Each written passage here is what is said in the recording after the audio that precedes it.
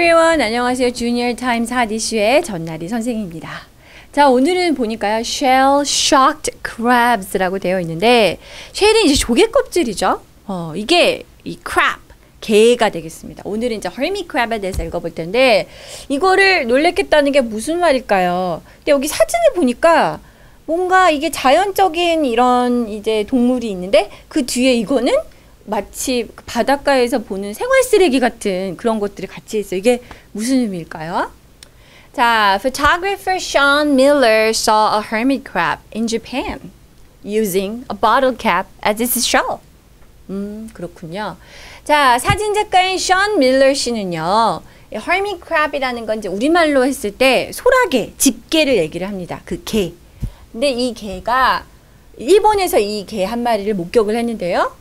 자기 이제 크랩이 자기 집 집으로 삼는 거죠 이 쉘이 이 자기 집으로 삼은 그 뚜껑 뭐 껍질 이런 것이 어 우리가 버린 예를 들면 그 병의 뚜껑 있죠 음, 병의 뚜껑으로 자기의 집을 삼아서 조개 껍질을 이렇게 들고 어, 삼고 있는 것을 앞에 사진처럼 본 것이죠.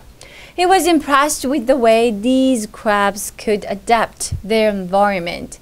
자, 이 사진 작가는 어떤 면에서는 되게 뭐 노, 약간 감동, 감명을 받으면 인상 깊었던 거죠. 아니, 이렇게 생활을 하다니.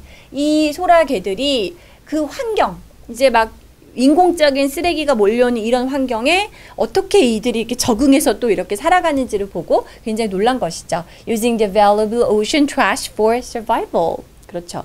말이 좋아서 그냥 바로 바로 캡이지 사실은 바닷가에 떠다니는 쓰레기이지 않겠습니까? 그래서 자기가 쓰, 써볼 수 있는, 사용할 수 있는 그런 어, 또 돌아다니는 바다 해양 쓰레기를 사용해서 자신의 생존, 자기 집으로 삼은 것을 보고 참 어, 이게 이럴 수가 있구나라고 눈여겨본 것이죠. But he was also saddened by seeing how much garbage gets dumped into the sea each year. 하지만 이 사진 작가분은요, 또한 마음이 좀 슬프기도 했대요. 그렇죠. 이건 사실은 갈비지니까요. 얼마나 많은 해양 쓰레기들이 매년 바다로 버려지는가를 목격을 하면서 굉장히 마음이 좋지 않았다고 합니다.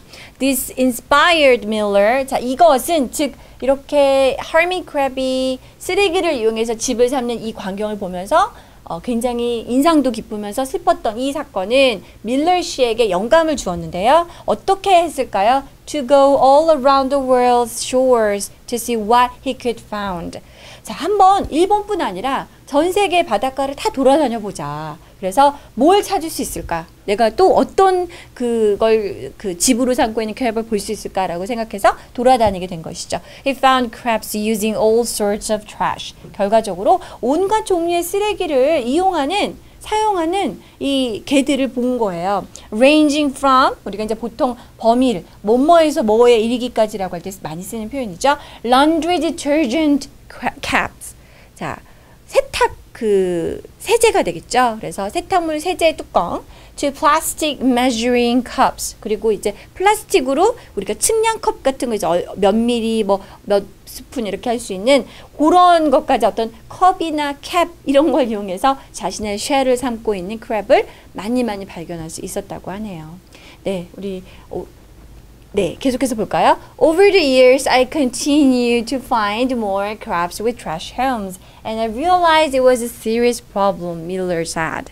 자, 이 밀러 씨는 이러한 것들을 보고 나서요, 수년간 계속해서 이 쓰레, 말하자면 쓰레기 집을, 쓰레기 껍질을 가지고 있는 개들을 정말 더 많이 발견할 수가 있었고요. And I realized, 깨달았어요. 어쩌면 이건 정말 너무 심각한 문제다라고 얘기를 했습니다. For hermit crabs, They need shells to protect their soft abdomens.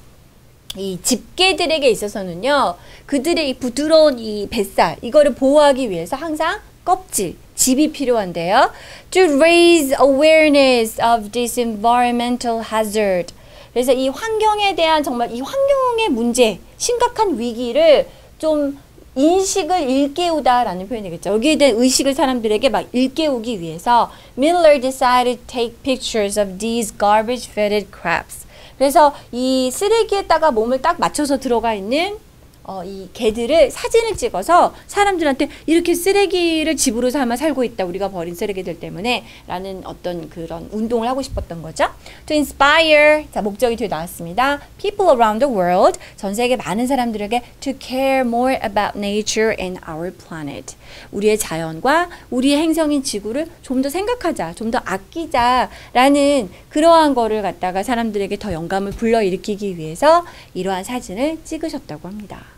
네, 이게 정말 재밌기도 하지만 또 이 적응력이 놀랍기도 하지만 어떻게 보면 아까도 나왔던 것처럼 saddened by this like phenomenon right? 이런 현상에 대해서 마음이 좀 슬퍼지는 그런 사건이 아닌가 싶네요. Okay, that is all for today. I'll see you next time. Bye bye.